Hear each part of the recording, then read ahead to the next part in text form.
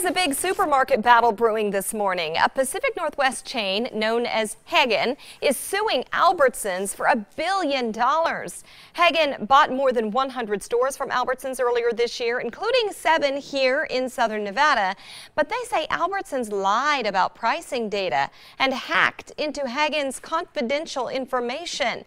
Haggen says they had to lay off hundreds and close a handful of stores as a result.